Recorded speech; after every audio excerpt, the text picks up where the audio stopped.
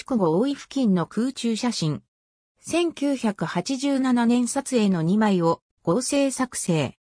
国土交通省国土地理院地図、空中写真閲覧サービスの空中写真をもとに作成。筑後大関は福岡県久留米市と佐賀県宮城郡宮城町にまたがる一級河川筑後川本流の川口から 23km 地点に建設された堰である。独立行政法人水資源機構が管理する稼働堰で筑後川の治水及び福岡県福岡地方や筑後地方、佐賀県に水を供給する利水目的を有し、筑後川水系水資源開発基本計画によって建設されているため堰ではあるが多目的ダムの扱いを受ける。建設時にはダムと環境の問題をめぐって漁業協同組合との圧力が激しく、現在でも有明海の海苔養殖の不良の一因とされることがある。その一方で、日本重血吸中症の撲滅といった環境改善にも役割を果たしているとの指摘もある。1953年の昭和28年西日本水害以降、経済安定本部が河川審議会に命じて策定させた筑後川水系治水基本計画に基づき、筑後川中下流部では、大石、原鶴、千年分水路開削や築堤が行われるようになったが、流化能力をさらに向上させるために、洪水調節のための治水施設が必要になった。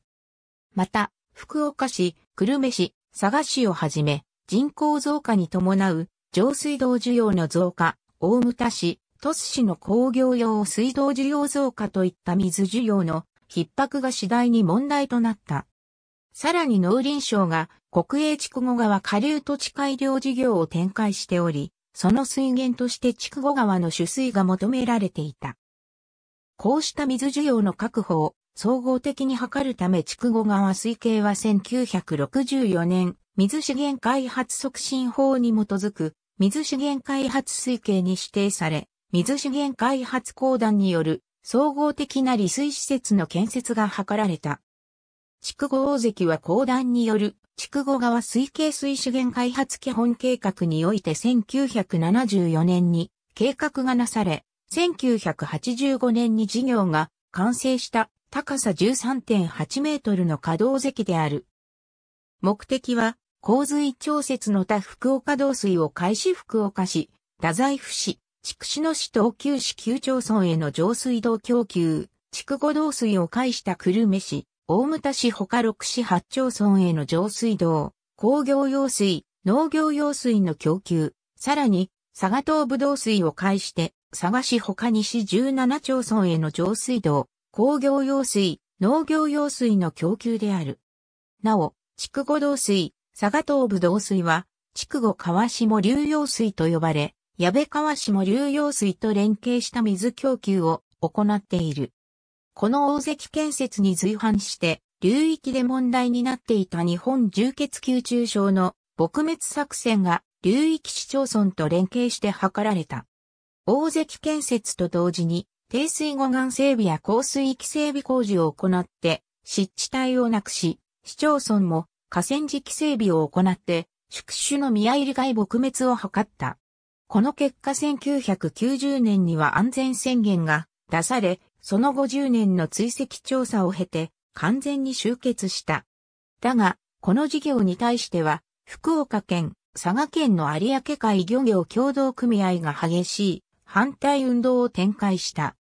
有明海は海苔養殖の一大産地であり、石建設によって下水流量が減少して海苔生育に重大な支障が出るとして1978年に漁連は警護公園にて反対集会を開いた。翌1979年4月に建設工事が着工されたが漁連は退去して建設現場に押しかけ、関係者に13時間抗議活動を行う実力行使に出て着工を延期させた。だが、この間1979年6月と1980年8月の2度にわたって大水害が流域を襲い、両者は歩み寄る気配を見せた。1980年11月建設省、公団と漁連は交渉のテーブルにつき、筑後大関建設事業に関する基本協定書を締結した。この中で、乗り量への支障をなくすために、特に渇水期において、維持流量を放流して乗り生育に必要な栄養塩の補給を公団に義務付けた。これに基づき建設省は維持流量の確保を図るため松原ダム、下請ダムの再開発を図って乗り生育期の維持流量確保を図るべく再開発事業を行い、要請を受けた九州電力株式会社も大仙川ダムの改築を行い流量確保に努めた。公団はこのまま漁連との保証交渉を継続し、粘り強い交渉の結果1984年に漁業保障はすべて解決した。現在は特に水量が少なくなる冬季に漁連の要請によって松原、下請、大仙川三ダムと筑後大関は維持流量を放流しており乗り量への支障は出ていない。河川開発においては漁業権との対立は避けて通れない問題であるが、度重なる交渉を重ね行政と漁連が連携して、漁業資源の保護に努めているモデルケースとも言える。ありがとうございます。